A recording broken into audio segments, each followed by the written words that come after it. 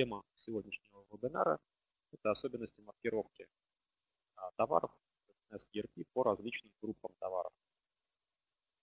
Ну, 1С ERP конфигурация выбрана здесь как флагман. А компания 1С в принципе а, маркировка поддерживается другими конфигурациями.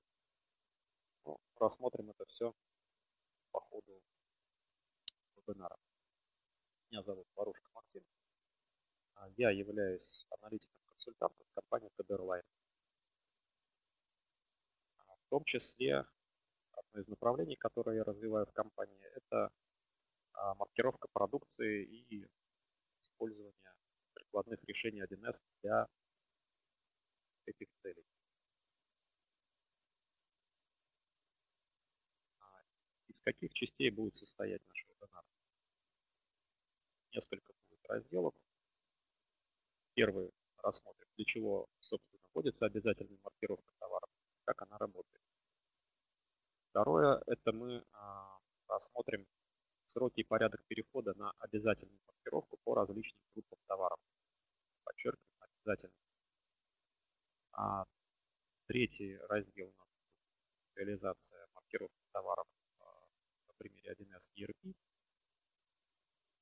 Четвертая небольшая часть, большой раздел, это белые пятна маркировки, так я их обозначил.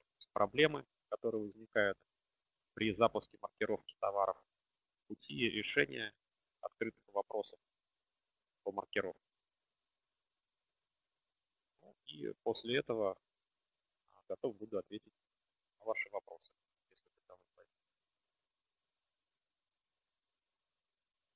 Так, переходим первой части. Для чего в нашей стране вводится маркировка товара? Как работает система маркировки у нас? Ну, сразу обозначу, что маркировка товаров, естественно, не только у нас в России спускается, где-то она гораздо раньше запустилась. И цели, как правило, у нас совпадают с общемировой практикой. Почему важна маркировка? Самый простой вариант.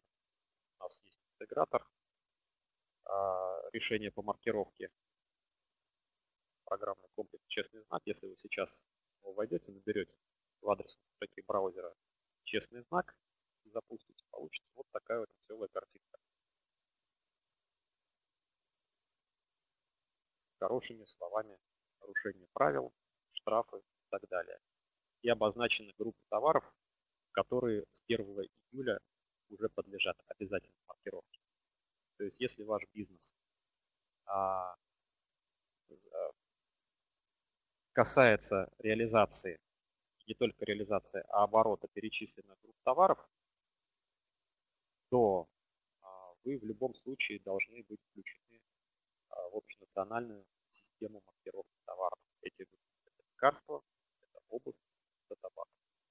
Если вы поддерживаете данное начинание, которое поступило со стороны правительства нашей страны, то это влечет административные только санкции.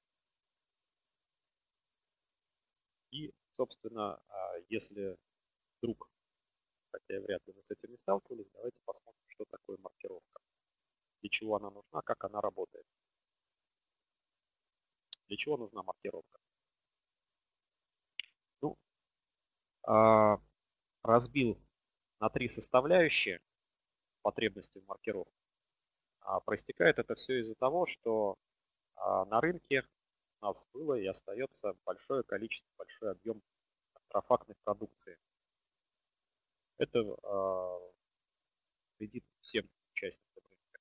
И производителям честным, которые вкладывают деньги в развитие продукта, которые несут дополнительные затраты по рекламе, по продвижению его.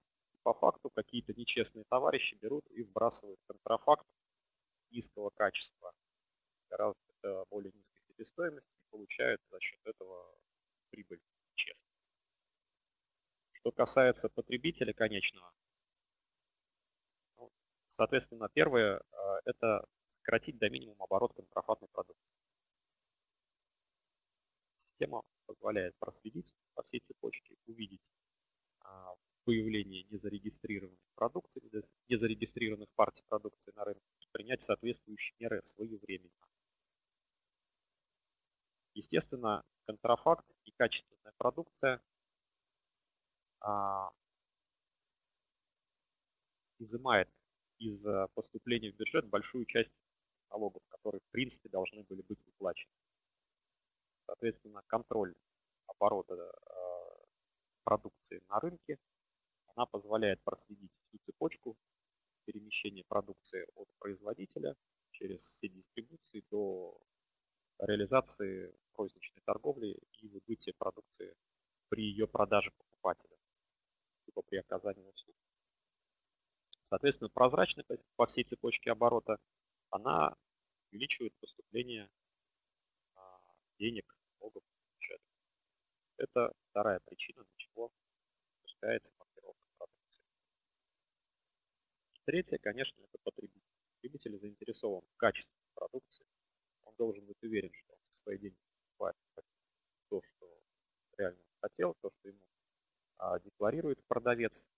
И а, потребитель должен иметь возможность убедиться, проследить а, при желании всю историю покупаемой продукции. От того, кто ее производил, а, что это за продукция, сроки годности покупаемой продукции, не те, которые на упаковочке, а реально в системе а, маркировки продукции. Эта вся информация хранится, и потребитель при а, установке соответствующего ПО, ну, тот же телефон, смартфон, может Теперь расскажу немного об операторе системы маркировки. А, оператор национальная система маркировки «Честный знак». Ну, основные задачи она декларирует. Гарантировать потребителю надлежащее качество приобретаемой продукции и прослеживаемость этой продукции по всей цепочке, начиная от производства, а, по логистике до дистрибуции, до магазинов и реализации до конечного. На каждой цепочке, в каждом звене оборота а, собираются данные по продукции, по выпускаемой, по перемещаемой и по а, реализуемой продукции.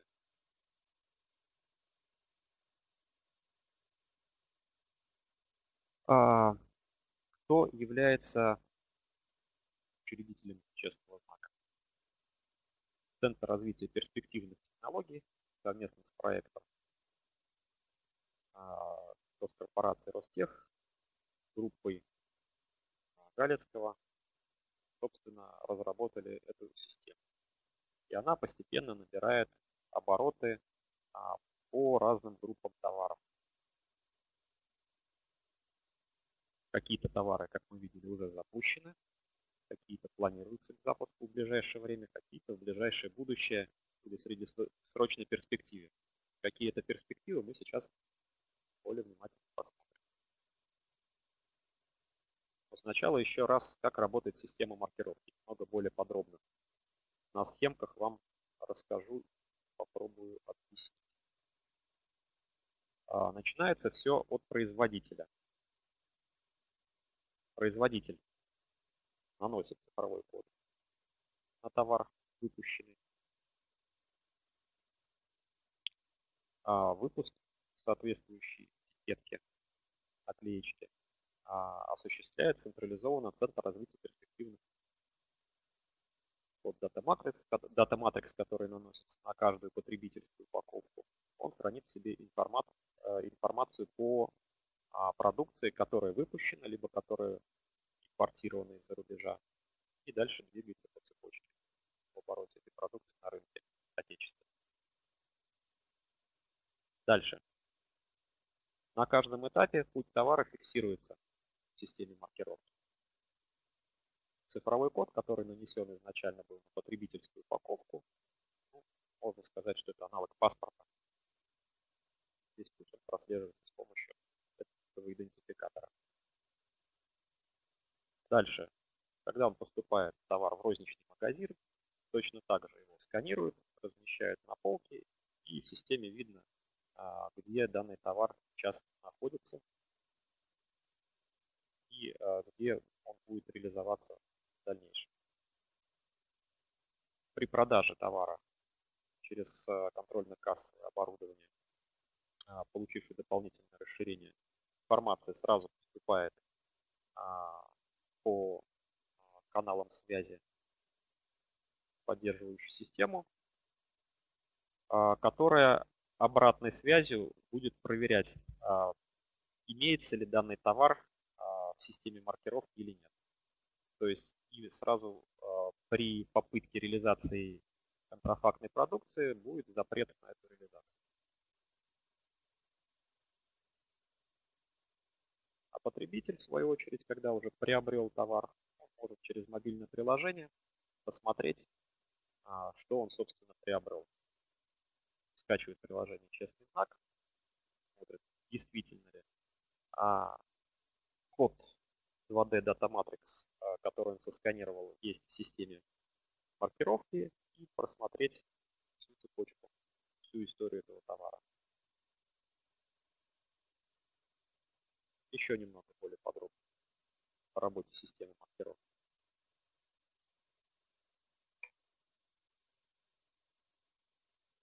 Производитель либо импортер а, при выпуске либо при ввозе в страну продукции, которая подлежит обязательной маркировке, должен первый заказать коды маркировки, чтобы нанести их потом в товар.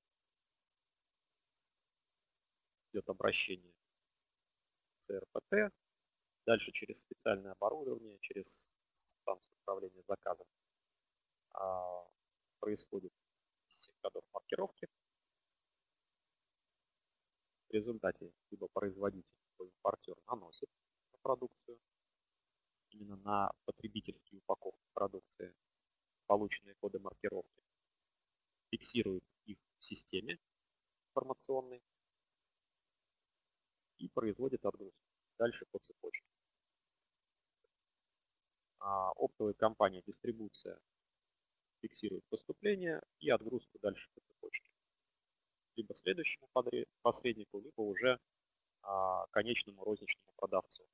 Продавец точно так же фиксирует поступление в информационной системе маркировки продукции, подтверждает то, что он получил, проверяет. И по факту продажи продукции маркированной, она выводится из оборота. То есть здесь можно несколько этапов ключевых выделить с точки зрения маркировки. Первое – это заказ кодов маркировки. Второе – это маркировка и ввод в оборот. То есть в оборот вводится только промаркированная продукция. Как только наклейка наклеена на конкретный товар, он идентифицируется выпущенным кодом и вносится э, в систему маркировки, вводится в оборот. Дальше у нас идет движение по цепочке, отгрузки, поступление, отгрузки, поступление, цепочки сколь угодно долгой. Причем в этой цепочке участвуют в том числе и экспедиторы. Если передается а, продукция через и по факту а, конечной продажи продукции, либо а, предоставления услуг с помощью этой продукции, например, касается медицинских аппаратов, она выводится из оборота. То есть вот такая цепочка получается. Коды маркировки вводятся в оборот, движение в системе маркировки продукции и вывод из оборота. Чем выгода от использования системы маркировки? Может, повторюсь, но в другом ракурсе. Что получает потребитель?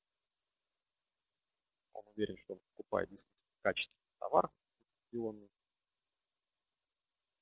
И как инструмент общественного контроля, конечно, а, система национальная, она всегда идет в плюс. Потребители а, чувствуют уверенность на рынке товаров, когда приобретают продукт чем больше продукции у нас контролируется, тем лучше потребителя. Что бизнес? Ну, белый бизнес, он, естественно, получает рост выручки за счет того, что нечестные игроки уходят с рынка. Система их выдавливает. А, опять же, а, система оборота, она настроена на оптимизацию процессов, снижение издержек. И в конечном счете так и должно быть при запуске, естественно, те, кто уже сталкивался сейчас могут сказать, что это не так. Издержки растут, трудозатраты растут. Но по факту, дойдем до этого момента, там может быть, конечно, а, выгода, в том числе и по издержкам, сокращению издержек. И, соответственно, доступ к данным а, по движению продукции через логистическую сеть, он всегда в плюс, то есть можно посмотреть историю продукта. Не только по конечным документам, которые получает поставщик. Ну и государство. Государство тоже хорошо, когда серый рынок сокращается, потому что серый рынок это отсутствие налогов. Кому-то может это плохо. Официально все должно работать на благо пополнения казны. Рост налоговых таможенных споров и э, экономия бюджета на обеспечение контроля товаров на рынке. То, что получает государство. То есть все участники оборота, они оказываются в плюсе. Есть, конечно, подводные камни, посмотрим, э, расскажу попозже. Но в целом все должны быть. Вот. А, это первая часть теоретическая вторую мы посмотрим уже по конкретным группам товаров, что у нас сейчас уже подлежит обязательной маркировке, что в ближайшее время вводится, какие действия ну, со стороны участника а, оборота, чтобы а, а, включиться в оборот соответствующей продукции и что нас ждет ближайшей и среднесрочной перспективе. Итак, что маркируется в обязательном порядке сейчас? А, выделил 4 группы, хотя, конечно, их немного больше. И одна из них достаточно условна в данном случае. Изделие из меха самая первая группа. На самом деле маркировка началась еще в 2016 году, в августе. А вот уже а, с июля а, прошлого года был осуществлен перевод а, маркировки продукции в систему «Честный знак». Вот здесь я для примера вывел. Это по состоянию на вчерашний день, свежие данные обновил, сколько сейчас участников в системе маркировки по данной группе продукции и сколько промаркировано изделий. Следующая группа продукции – это табачные изделия. Табачные изделия у нас а, с марта месяца обязательная регистрация участников в системе маркировки. С июля месяца у нас прекращение выпуска немаркированной продукции. И а, с июля же этого года весь оборот табачной продукции, он промаркирован и подлежит контролю в системе маркировки продукции. То есть и выпускать, и продавать, и передавать табачную продукцию вне этой системы нельзя. То же самое касается и обуви. А с июля 2020 года оптовая и розничная торговля доступна только промаркированным товарам. До августа разрешен а, импорт маркированного товара при условии, что факт а, закупки этого товара а, подтверждается датой до 1 июля. И до сентября месяца разрешена маркировка остатков товаров. То есть если они у нас а, появились до 1 июля, их можно ввести в оборот, промаркировать в оборот до сентября месяца. И отдельная группа товаров – это лекарственные препараты. А, соответственно, у нас точно так же с июля месяца обязательная регистрация. А, прошу прощения, в прошлом году, год назад, уже была обязательная регистрация а, участников оборота по высокозатратным нозологиям. С октября весь оборот высокозатратных нозологий подлежит обязательной маркировке. А вот уже с июля 2020 года весь оборот э, лекарственных препаратов подлежит обязательной маркировке и введению через систему маркировки продукта. Ну, что можно сказать по этим группам товаров? Как я и говорил, а, ключевой фактор – это степень контрафакта, который присутствует на рынке. Вот эти группы, они действительно а, характеризовались тем, что доля контрафакта там доходила до 70%. Это можно по каждой группе сказать. Ну и той группы, которой здесь нет алкогольной продукции, которая еще раньше запустилась, там еще хуже была ситуация. Государство взяло это под контроль. И это правильно. А, какой порядок перехода для включения в систему маркировки продукции и участия в обороте? Я здесь выделил пошагово, что необходимо сделать для участника оборота. Первое – это получить усиленную квалификационную электронную подпись КЭП, сокращенно. Для чего это надо? Чтобы а, ответственный исполнитель со стороны организации, которая является участником оборота, подтверждал свои действия в системе маркировки продукции при а, действиях по ее обороту. Второе. Необходимо зарегистрироваться в честном знаке, создать свой личный кабинет, ввести все данные по организации, подтвердить это все полученной электронной подписью. Дальше. Получить либо приобрести дополнительное оборудование и зарегистрировать его. Ну, здесь можно оборудование разделить на две части. А, первая часть, которая предоставляет а, организация внешне безвозмездно. Это, например, станция управления заказами или для лекарственных препаратов регистраторы выбытия, которыми снабжаются медицинские учреждения. А вторая группа – это, собственно, торговое оборудование, которое позволяет а, считывать 2D-коды, коды Data Matrix. Это 2D-сканеры, то есть более современные модели сканеров, либо терминалов сбора данных, которые могут распознать соответствующие коды и передать их в информационную систему. Информационную систему честного знака а, через специальную обработку, либо же через а, учетную информационную систему организации, участника оборота. Это все, естественно, приобретается за свой счет. Четвертое, что необходимо сделать и всем, ну, как минимум производителю. Партнерам это зарегистрировать номенклатуру. По группам товаров там есть своя специфика, но в принципе, если номенклатура новая, она еще не была э, в классификаторах, которые используются э, в системе маркировки, ее необходимо зарегистрировать. Регистрируется через специальные организации, например, JS One Russia. Есть определенная процедура, и каждый производитель либо импортер должен ее знать и отработать по факту появления новой продукции. Пятое – это, собственно, получение кодов маркировки через э,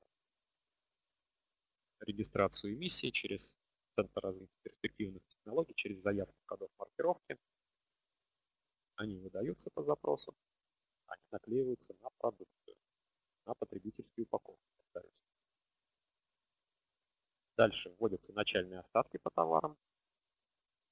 Регистрируются эти начальные остатки а, в системе честный знак, либо напрямую, либо через интеграцию а, своей учетной системы с честным знаком. При этом необходимо свою учетную систему настроить для обмена данными с честным знаком. И также желательно подключиться к системе электронного документа оборота, который позволяет гораздо быстрее обмениваться а, информацией по движению товаров при обороте продукции в системе маркировки. Это уже известно всем ПДшки, которые могут поступать через систему электронного документа оборота, подтверждаться бездокументально с помощью той же электронной подписи и дополнительные опции в учетных системах они позволяют э, быстро проводить операции, в том числе для заполнения данных э, для ввода в систему маркировки. А, переходим дальше. Вторая группа товаров, которая еще пока не обязательно маркируется, но в 2020 году она будет промаркирована. Тоже 4 группы. Вот так вот четверками идет запуск маркировки по группам продукции. Давайте рассмотрим, какие это группы. Первое – это фотоаппараты и вспышки. А, до марта месяца должна была быть обязательная регистрация участников в системе маркировки. С октября запрет оборота немаркированной продукции. И до декабря месяца можно будет э, э, зарегистрировать, промаркировать остатки товаров, которые не реализовались до октября месяца. Шины и покрышки. Примерно та же самая картина большим отставанием относительно фотоаппаратов. Товары легкой промышленности. Здесь у нас э, запрет оборота немаркированной продукции с января месяца следующего года. До февраля обязательная маркировка товарных остатков. То, что не успели реализовать до конца этого года. Сухие туалетная вода до апреля обязательная регистрация участников в системе. С октября обязательная маркировка товаров. И э, до конца октября 2021 года можно реализовывать немаркированные остатки, которые произведены были или будут до октября 2020 года. То есть вот такие правила. Насколько большой контрафакт по этим группам продукции, ну, наверное, достаточно, раз они выбраны следующей четверочкой для запуска. То есть это то, что нам предстоит еще запустить в этом 2020 году. И что предстоит э, маркировать в порядке эксперимента в этом году. Либо предстоит, либо уже эксперимент прошел. Давайте посмотрим. Тоже 4 группы. Молочная продукция. Сроки у нас обязательной маркировки с октября следующего года. До этого у нас длится эксперимент. При этом а с начала 2021 года по определенным группам ТНВД нас будет уже обязательная маркировка по всем с октября 2021 года. Кресло-коляски. Эксперимент у нас длится до 2021 года, до середины 2021 года. И участвуют э, две группы товаров. Вот, соответственно, НВД привел. Это кресло-коляски с ручным приводом и электрические кресло-коляски. Велосипеды. Ну, здесь можно сказать, что эксперимент уже закончился мае месяце. Результаты обрабатываются. Какое-то решение будет, а, видимо, через постановление правительства по данной группе товаров выпущено. И бутилированная упакованная вода. Эксперимент длится до марта 2021 года.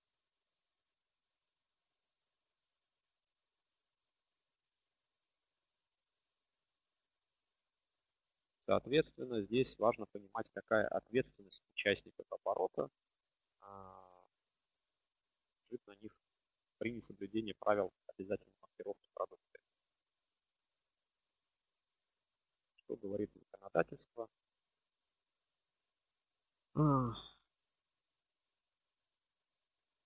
Продажа, перевозка, производство немаркированной продукции грозит штрафом от 5 до 10 тысяч рублей для частного предпринимателя. Для юрлица эти суммы гораздо выше, до 300 тысяч рублей. При этом обнаруженные немаркированные продукции изделия будут конфискованы.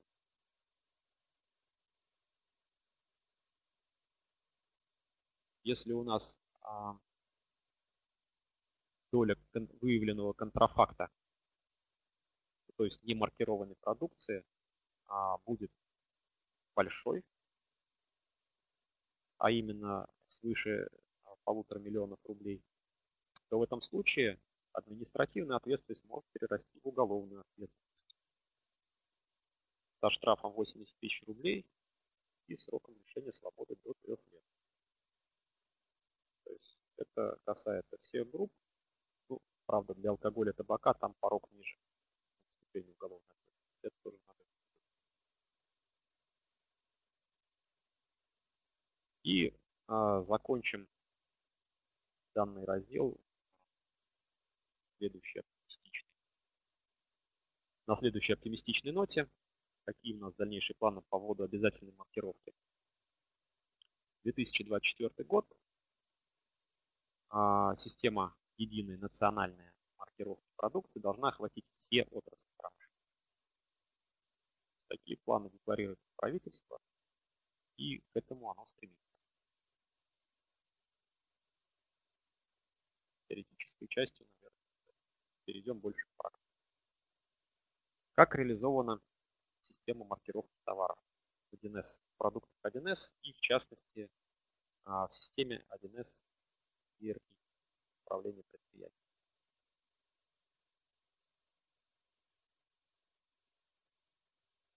Ну, начать, конечно, стоит с того, в каких конфигурациях 1С а, реализована, поддерживается интеграция информационной системы маркировки честных знаков. Тут можно разбить их, эти э, конфигурации на две части пока что. Выписал здесь уже запущенные в обязательном, в обязательном порядке маркировки. Это табак, обувь. Какие это конфигурации? Естественно, 1С ERP как флагман, комплексная автоматизация, дальше конфигурация управления торговлей, 10 и 11 версии. 1С управление нашей фирмой и 1С розница. Какая-то часть поддерживается управлением производством. А, а вот а, группа продукции лекарственные препараты нашла отражений а, данной линии программных продуктов 1С пошла немножко по другому пути, поскольку данная группа товаров достаточно специфична, имеет э, специфику отрасли, то в отраслевых решениях а, интеграция системы мониторинга движения лекарственных препаратов, она настроена. Также 1С выпустила отдельный а, модуль, который может быть либо встроен в перечисленные в левой части конфигурации учетных систем, либо а, использоваться самостоятельно, если небольшой оборот по лекарственным препаратам наблюдается у организации. Это 1С НДЛП. Ну, соответственно, какие специализированные решения? Это 1С медицина, больничная аптека, 1С розница аптека и 1С управление аптечной. Ну, следует, соответственно, если вдруг ваша организация а, продает, реализует лекарственные препараты, при этом учетная система у вас перечислена здесь. С маркировкой лекарственных препаратов данной конфигурации не дружит. Это можно сделать либо включением и до настройкой соответствующего модуля в свою конфигурацию, ну, либо переходом в специализированные конфигурации отраслевые.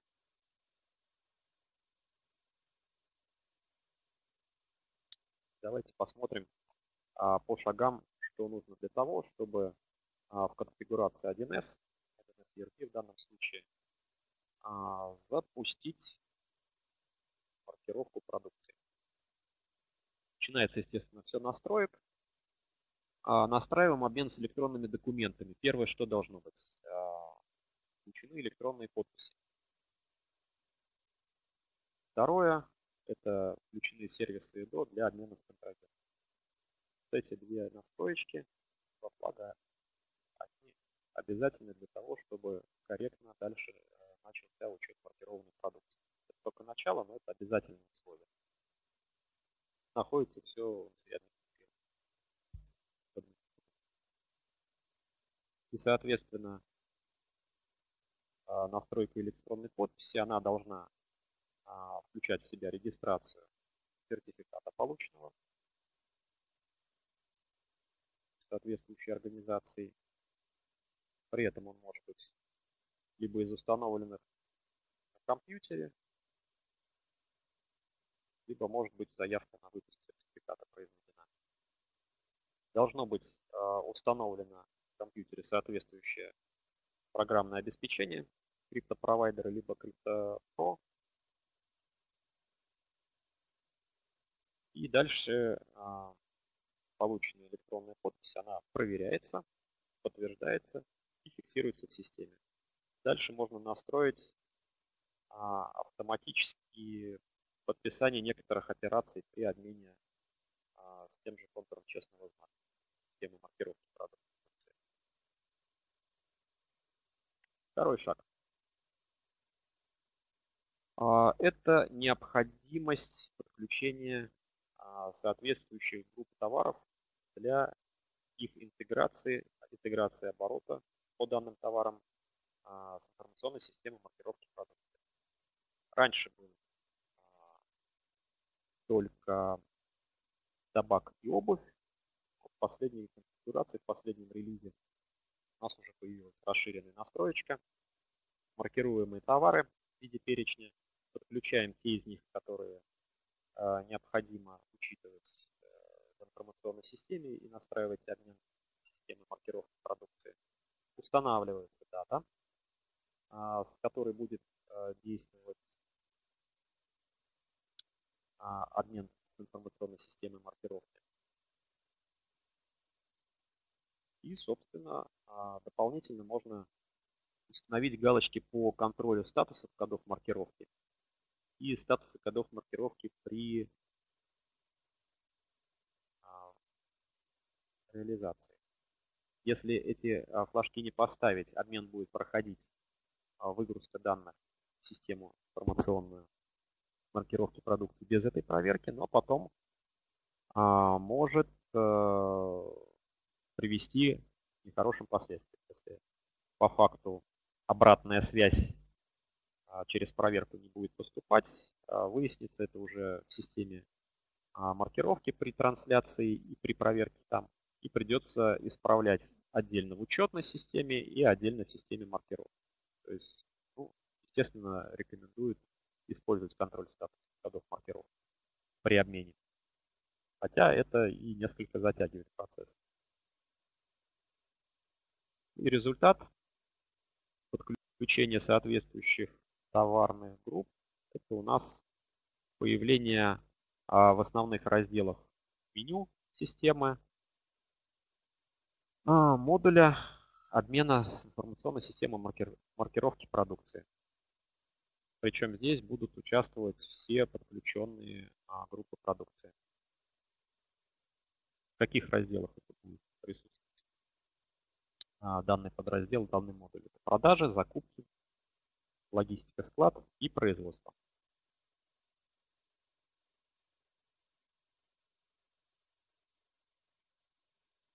Третий шаг при необходимости настройка дополнительного оборудования.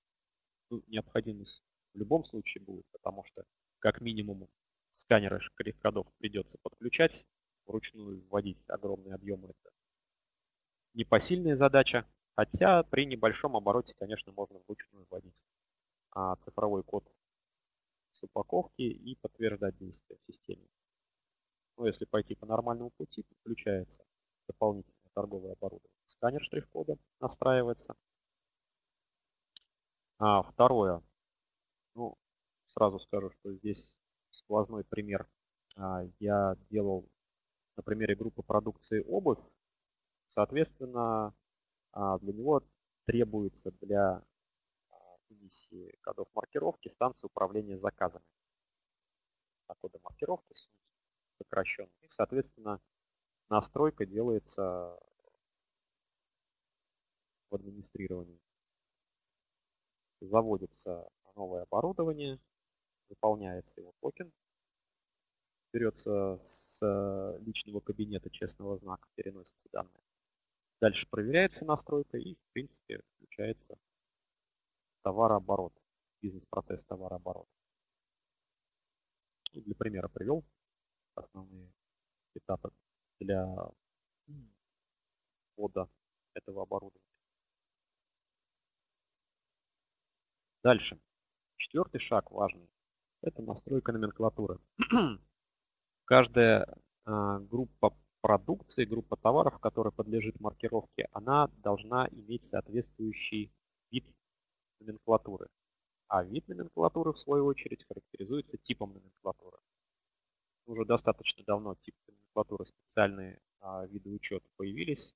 То есть это алкогольная продукция, товары из меха.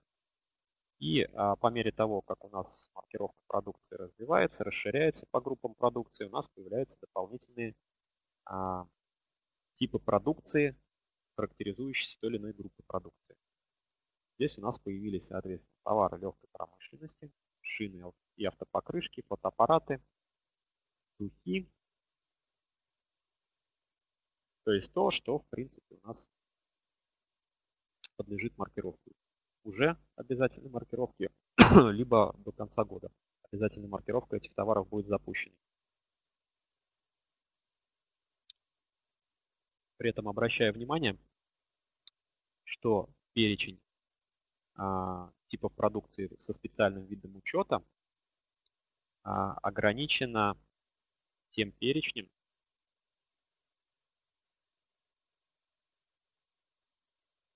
групп продукции, которые мы подключили а, для интеграции с системой маркировки продукции.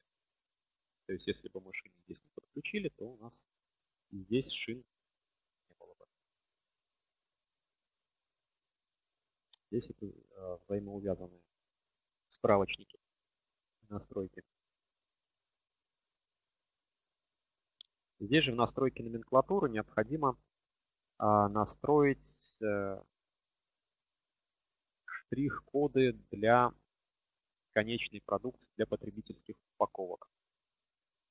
1С а, оно в данном плане максимально упростило процесс формирования этой этикетки. Ну, что здесь важно? Назначение должно быть выбрано соответствующее. То есть для кода Data Matrix, JS1 даже Data Matrix, у нас определенное назначение появилось. Этикетка для одежды, обуви, табака, то есть для маркированной продукции. Маркируем. И важно, чтобы тип штрих-кода был uh, JS1 Data Matrix.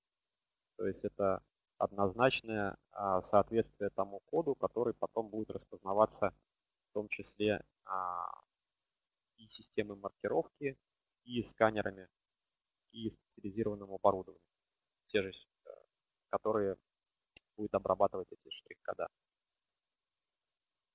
Настроив этикетку, дальше э, по настройкам она будет выводиться на печать. Посмотрим немножко попозже этот момент. Настройки сделаны. Что у нас появляется в результате? В сухом остатке. Появляется а, вот такое вот рабочее место. Обмен из МП.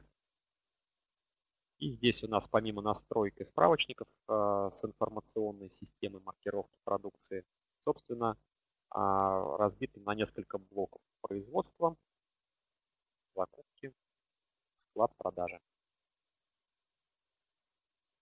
Что здесь у нас есть? А, для производства это, естественно, эмиссия кодов маркировки и заказа. Дальше действие по маркировке, документ, который фиксирует ввод в оборот новой продукции. В закупках это могут быть просто входящие документы ЭДО, переход на соответствующую а, на соответствующий рабочий экран, либо переход по ссылкам на перечень документов. По складу это перемаркировка или списание кодов маркировки. Продажа это исходящие документы по идой, либо вывод из оборота, специализированные документы. Сразу скажу, что вот эти документы, они а, где-то имеют четкое соответствие с документами учетной системы.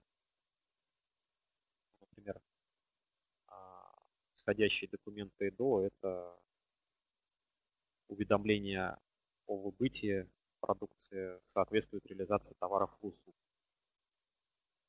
А где-то вывод из оборота не всегда соответствует, потому что это могут быть специализированные документы, как а, внутреннее потребление, так и э, прочие выбытия, которые не фиксируются специальным документом. либо специальным документом, но с определенной операцией. По каждой группе документов у нас имеется а, три а, разделов, то есть они разносятся на один из трех разделов, либо к оформлению, когда у нас в учетной системе а, оформлена хозяйственная операция, которая не отражена в документах а, информационной системы маркировки продукции для передачи в информационную систему маркировки продукции. Вторая группа а, статусов, скажем так, это отработка. То есть когда у нас из информационной системы маркировки продукции через интерфейс обмена эти документы поступили, их необходимо отработать. То есть они уже введены в системе. И третье – это а, документы, ожидающие подтверждения со стороны информационной системы маркировки продукции. То есть уже они отработаны со стороны организации и отправлены на подтверждение в СМП. Но пока еще подтверждение не пришло. И, соответственно, до момента закрытия документа он курсировать может в, каждой, каждую из групп указанных. Давайте посмотрим на примере маркировки товаров, как это работает. Соответственно, у нас а, необходимо ввести остатки по продукции, например. А, перечисляется продукция. Сразу здесь у нас значок маркировки появляется. Если а, у вида продукции тип товара соответствует маркированной продукции. И пока он не отработан, этот значок у нас красненький. То есть подтверждение маркировки не пройдено. Количество, номенклатура. И дальше, а, соответственно, что необходимо сделать. Необходимо заказать коды маркировки. То есть оформить заказ на эмиссию кодов маркировки. Формируется он, соответственно, отсюда. Создать заказ на эмиссию кодов маркировки на основании.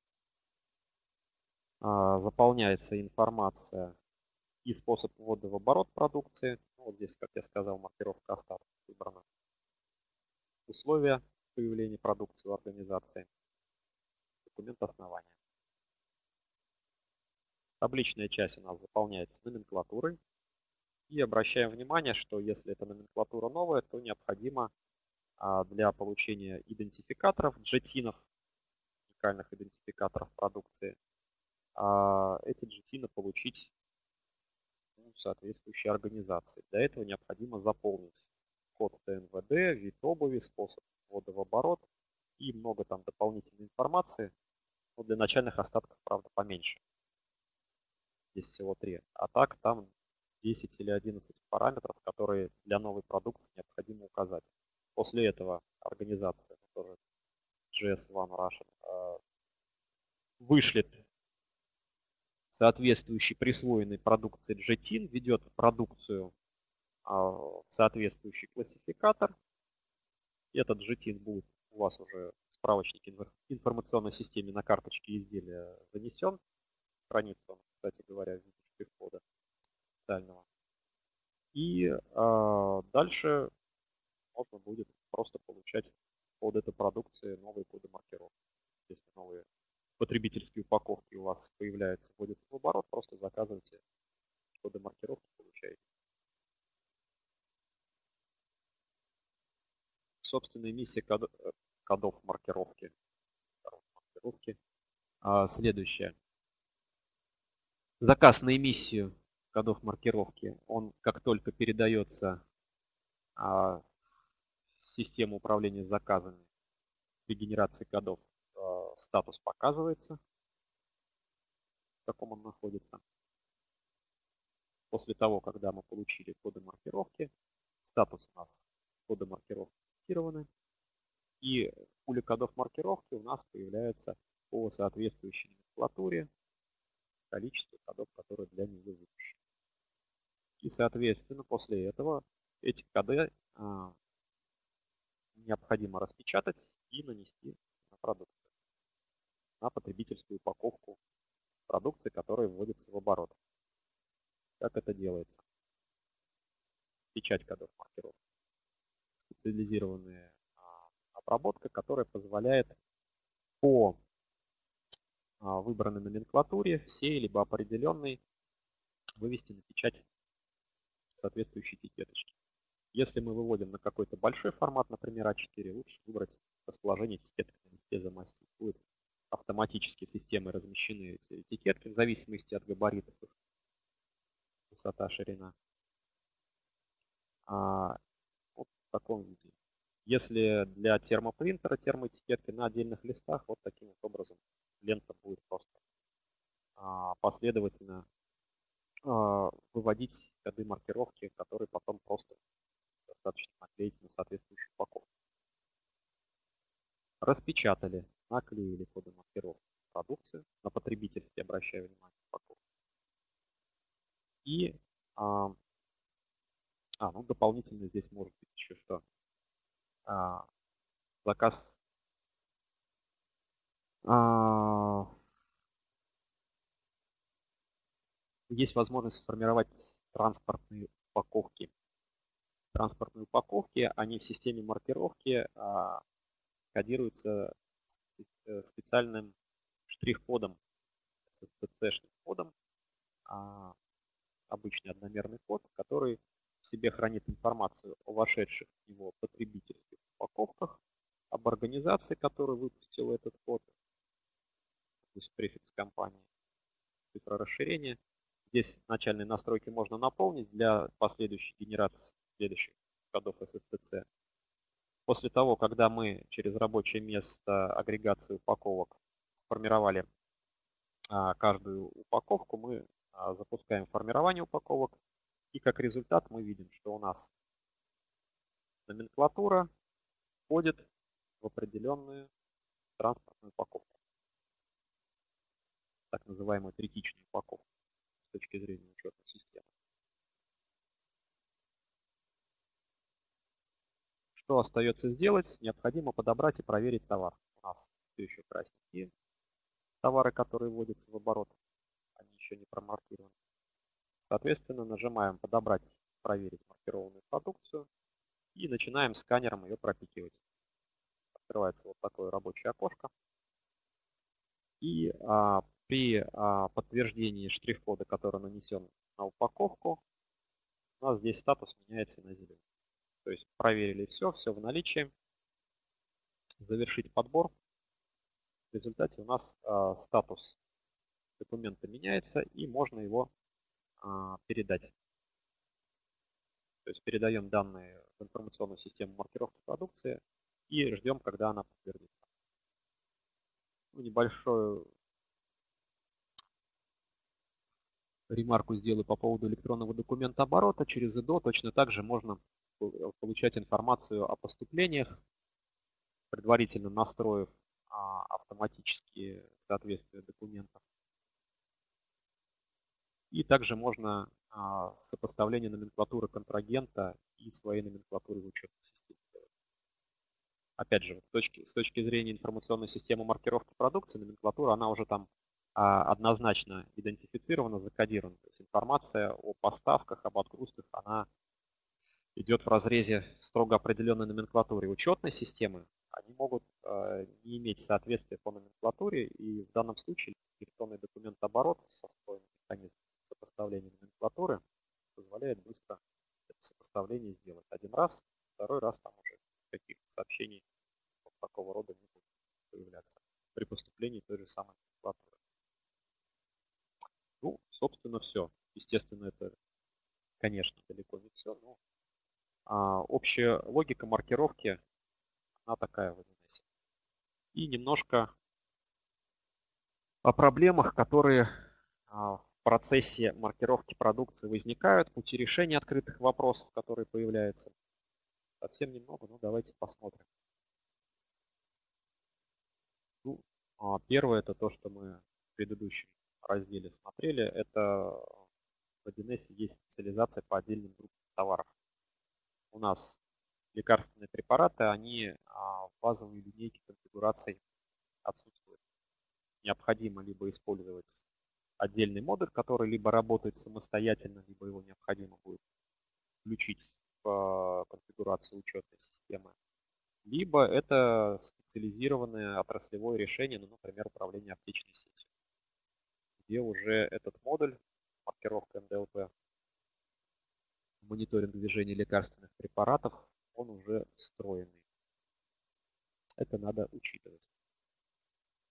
Но, в принципе, проблема решена либо с помощью отраслевых решений, либо с помощью встроения, встраивания библиотеки МДЛП в свои конфигурации своих учетных систем. Есть уже практика успешная такого встраивания. Дальше. Естественно, законодательство, оно постоянно изменяется, но тут 1С э, замечательно отработана у него технология по отслеживанию изменений законодательства. Работает точно в таком же виде.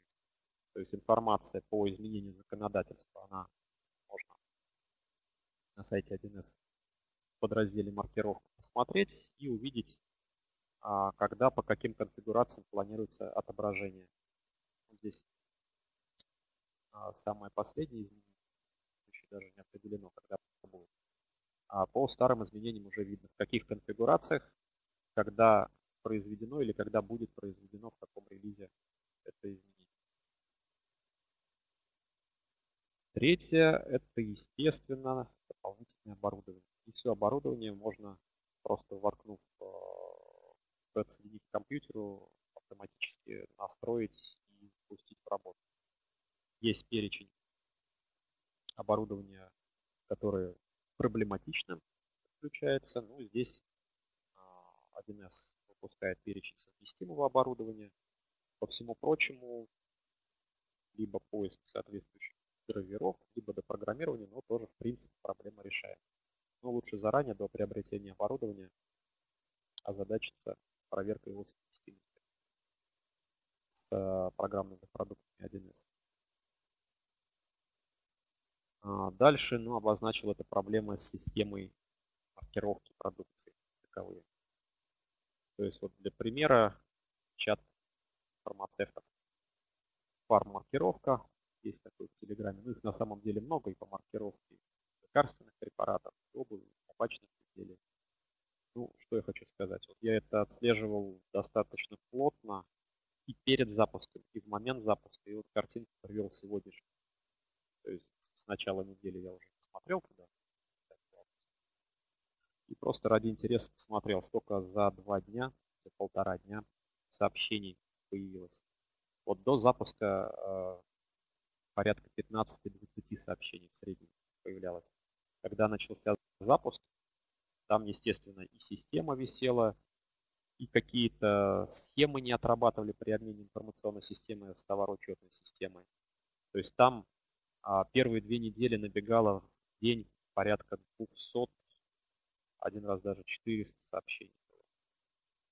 Сейчас полтора дня всего 80 сообщений. То есть говорит о том, что все-таки система наладится. Не значит, что там все уже плюнули и не стали работать. Просто поддержка а, начала успевать справляться с объемом вопросов, которые на нее падают. И сами вопросы они решаются. Принципе, по остальным группам картина примерно та же самая. Проблемы нерешаемые.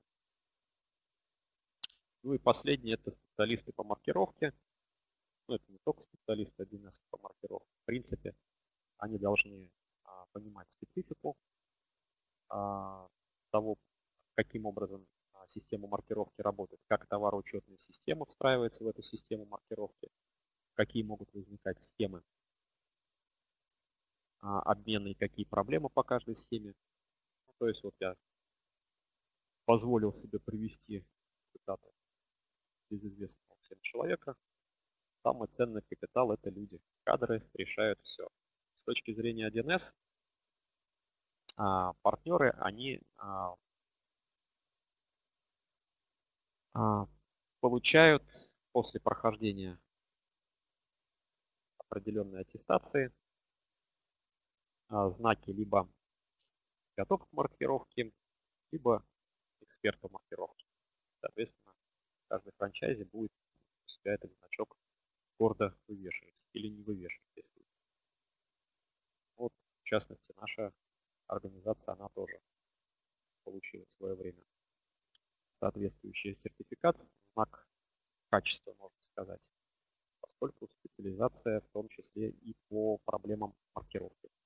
Продукты – это не пустой звук, новое для нас. Занимаемся этим достаточно давно и плотно.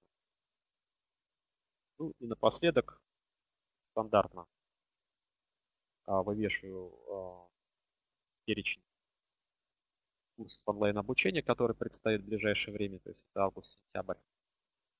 Можно детально познакомиться с информацией по курсам по этому адресу. собственно, все.